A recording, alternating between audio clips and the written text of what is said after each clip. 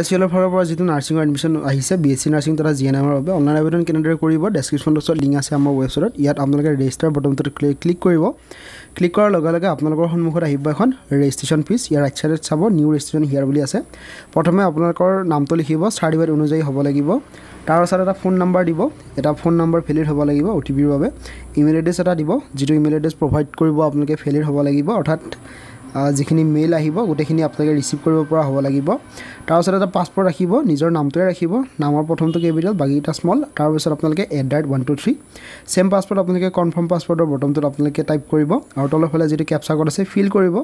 Captcha কোডটো fill কৰাৰ পাছত ৰেজিষ্টাৰ বটনটোত ক্লিক কৰি দিব। ৰেজিষ্টাৰ বটনত ক্লিক কৰাৰ লগে লগে অলপ সময় অপেক্ষা কৰিব। তাৰপিছত যিটো আপোনালোকৰ মোবাইল নম্বৰ হয় ৰেজিষ্টাৰ্ড ফোন নম্বৰ তাতে এটা অ' টি পি আহিব। সেই অ' টি পিটো আপোনালোকে ইয়াত এণ্টাৰ কৰি দিব। তাৰপাছত ভেৰিফাই যিটো অট' অ' টি পি আছে তাতে আপোনালোকে ক্লিক কৰিব। ক্লিক কৰাৰ লগে লগে ইনকুৱাৰী ইণ্টাৰভেচ আহিব। ইয়াত এপ্লাই নিউ ৰেজিষ্ট এপ্লিকেশ্যন বুলি আহিব। আপোনালোকে মন কৰিব যদি eligibility criteria B S C নাৰ্ছিঙৰ লগত মিলে তেতিয়া সেইটো টিক চিন কৰিব পাৰিব। নাইবা জি এন এম কৰ্চৰ বাবে অনলাইন অনলাইন কৰিব পাৰিবই। এতিয়া ফুল নেমটো আপোনালোকৰ অলৰেডি থাকিব ৰেজিষ্ট্ৰেশ্যন সময়ত দিয়া আছিল বাবে। তো যদি আপোনালোকে বি এছ চি নাৰ্ছিঙৰ বাবে ইলিজিবল নহয় নহয় তেতিয়াহ'লে বি এছ চি নাৰ্ছিংটো টিক কৰিব নালাগে। তেতিয়া অট'মেটিক জি এন এমৰ বাবে এপ্লিকেশ্যন হৈ যাব। ফাদাৰ নামটো লিখিব ফাদাৰৰ অকুপেশ্যনটো আপোনালোকে লিখিব লাগিব। মাদাৰ নেমটো লিখিব মাদাৰৰ কি অকুপেশ্যন আছে অৰ্থাৎ কি কৰে সেইটো লিখিব। তাৰপিছত মেৰিটেল ষ্টেটাছ আনমেৰিড নে মেৰিড সেইটো চিলেক্ট কৰিব। ৰিলিজন যিটো হয় বাছি উলিয়াব। তাৰপিছত ডেট অফ বাৰ্থটো আপোনালোকে লিখিব। কেলেণ্ডাৰখন এখন পাব। কেলেণ্ডাৰখনৰ পৰাই আপোনালোকে নিজৰ ডেট অফ বাৰ্থটো লিখিব পাৰিব। তাৰপাছত আপোনালোকৰ আহিব কাষ্ট নিজৰ যিটো কাষ্ট হয় সেই কাষ্টটো বিচাৰি উলিয়াই লিখি ইয়াত চিলেক্ট কৰিব। তাৰপিছত ইয়াত ই ডাব্লিউ এছ যদি হয় য়েছ কৰিব নহ'লে ন' কৰিব। তাৰপাছত এ এন এইচ এম বা এল এইচ এমত আপোনাৰ ৰেজিষ্টাৰ আছে নেকি? যদি আছে য়েছ কৰি এটা ৰেজিষ্ট্ৰেশ্যন নম্বৰো দিব। পি ডাব্লিউ ডি কেটেগৰীৰ পৰা হ'লে য়েছ কৰিব নহ'লে ন' তাৰপাছত আছে আণ্ডাৰ ডিগবৈ লিখিছে আপোনালোকে ডিগবৈ সমষ্টিৰ পৰা হয় নেকি? যদি হয় তেতিয়া য়েছ কৰিব নহ'লে ন' অপশ্যনত ক্লিক কৰিব। তাৰপিছত আছে ইনকাম ফেমিলি যিটো ইনকাম সেইটো আপোনালোকে ইনকামটো লিখিব লাগিব ইনকাম চাৰ্টিফিকেট লাগিব আৰু কোনে ইছ্যু কৰিছে ইনকাম চাৰ্টিফিকেট তেওঁৰ নাম লিখিব আৰু কোন তাৰিখে আপোনালোকৰ ইনকাম চাৰ্টিফিকেটখন ইছ্যু কৰা হৈছে সেই লিখিব। অৰ্থাৎ যোন তাৰিখে আপোনালোকৰ ইনকাম চাৰ্টিফিকেটখন উলিওৱা হৈছে সেই ডেটটো লিখিব। তাৰপিছত ছাবমিট এণ্ড নেক্সট বটনটোত ক্লিক কৰি দিব। ছাবমিট এণ্ড নেক্সট বটনত ক্লিক কৰাৰ লগে লগে আপোনালোকৰ আহিব এড্ৰেছ ইয়াত প্ৰথমে ভিলেজটো লিখিব পোষ্ট অফিচ ষ্টেট তাৰপিছত পোষ্ট অফিচ পিন নম্বৰ তাৰপিছত আছে আপোনালোকৰ ডিষ্ট্ৰিক্টখনৰ নাম। ডিষ্ট্ৰিক্টখনৰ নাম লিখা হোৱাৰ পাছত যদি প্ৰেজেণ্ট এড্ৰেছটো পাৰ্মানেণ্ট এড্ৰেছৰ লগত একে হয় তেতিয়াহ'লে ছেম টু ছেম কৰিব অট'মেটিক আহিব ছেভ এণ্ড আপডেট অপশ্যনত ক্লিক কৰিব।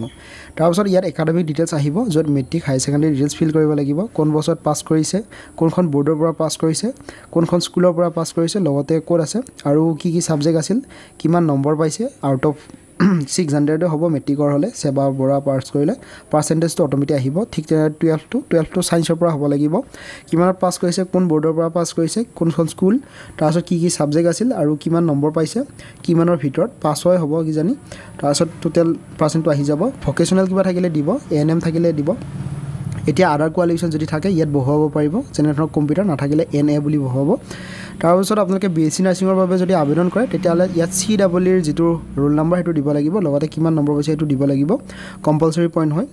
তাৰপিছত ছাবমিটত আপডেট বুটনত ক্লিক কৰিব। লগতে আহিব এবাৰ ডকুমেণ্ট আপলোড ইয়াত প্ৰথমে ফটো একপি আপলোড কৰিব লাগিব। তাৰপিছত signature P R C certificate নাইবা ভোটাৰ আই ডি আপলোড কৰিব পাৰিব।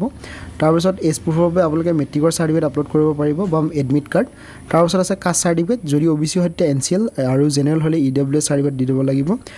পি ডাব্লিউ ডি কেটেগৰী এগেষ্টত হ'লে পি ডাব্লিউ ডি চাৰ্টিফিকেট লগতে আপোনালোকৰ স্কুলৰ পৰা পাছ কৰা যিখন চাৰ্টিফিকেট স্কুলৰ স্কুল পাছ চাৰ্টিফিকেট যিখন দিয়ে সেইখন আপোনালোকে ইয়াত আপলোড কৰিব পাৰিব। লগতে টুৱেলভৰ মাৰ্কশ্বিট দিব লাগিব। এ এন এম ৰেজিষ্ট্ৰেশ্যন যদি আছে তেতিয়া ৰেজিষ্ট্ৰেশ্যন চাৰ্টিফিকেটটো আপলোড কৰিব লাগিব আৰু ৰেজিষ্ট্ৰেশ্যনৰ মাৰ্কশ্বিট আৰু গোটেইখিনি হোৱাৰ পিছত টিক চিন কৰিব আৰু ছাবমিট এণ্ড আপডেট বুটনত ক্লিক কৰিব। মন কৰিব ফটো আৰু ছিগনেচাৰৰ হাইড ৱেটটো মিলিব লাগিব। আৰু পি আৰ চি চাৰ্টিফিকেট বা ভোটাৰ আই ডিটো কম্পালচৰি নহয় হ'লেও আপোনালোকে দি দিব। তাৰপাছত ছাবমিট এণ্ড আপডেট বটনত ক্লিক কৰি দিব। ছাবমিট এণ্ড আপডেট বটনত ক্লিক কৰাৰ লগে এনেকুৱা আহিব ইয়াত ফাইনেল ছাবমিটৰ বটন এটা থাকিব তাতে ক্লিক কৰাৰ পিছত এপ্লাইড ছাকচেছফুলি দেখুৱাব। এতিয়া ফি বটনটোত আপোনালোকে ক্লিক কৰিলে ওপৰত এটা ডাউনলোড বটন এটা পাব ডাউনলোড কৰিলে আপোনালোকে পি ডি এফ হিচাপত ডাউনলোড কৰি চাব পাৰিব। তো এইখন আপোনালোকে থৈ দিব যেতিয়া এডমিট কাৰ্ড আহিব ইয়াৰ জৰিয়তে আপোনালোকে ডাউনলোড কৰিব পাৰিব। ইয়াত এপ্লিকেশ্যন নাম্বাৰ এটা আহিব সেই এপ্লিকেশ্যন নাম্বাৰৰ জৰিয়তে আপোনালোকে ডাউনলোড কৰিব পাৰিব। কিবা কনফিউজন থাকিলে তলত আপোনালোকে কমেণ্ট কৰিব পাৰে। এইটো ডেম' ভিডিঅ' হয় ইয়াত কোনো ধৰণৰ শুদ্ধ ইনফৰ্মেশ্যন নাই। ভিডিঅ'টো চোৱাৰ বাবে বহুত বহুত ধন্যবাদ।